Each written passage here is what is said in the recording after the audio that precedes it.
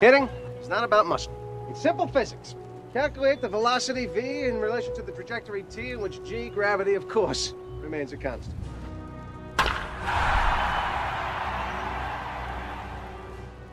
It's not complicated. Now, who are you again? George Costanza, assistant to the traveling secretary.